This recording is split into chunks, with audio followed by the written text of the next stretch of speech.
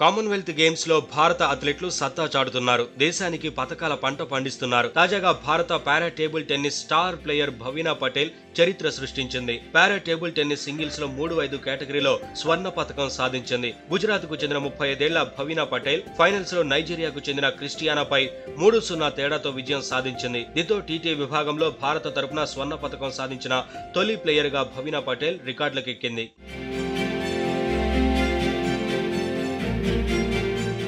అంతకుముందు para TT player Sonal Ben Manubhai Patel కూడా మహిళల సింగిల్స్లో కాంస్య పథకం సాధించింది. అయితే తొమ్మిదో రోజు భారత అథ్లెట్లు వరుసగా మూడు స్వర్ణ పథకాలు సొంతం చేసుకున్నారు. దీంతో ఇప్పటివరకు కామన్వెల్త్ గేమ్స్లో భారత్ మొత్తం నలభై పథకాలు సాధించి ఐదో స్థానంలో నిలిచింది. వీటిలో పదమూడు స్వర్ణాలు పదకొండు రజతాలు పదహారు కాంస్య పథకాలున్నాయి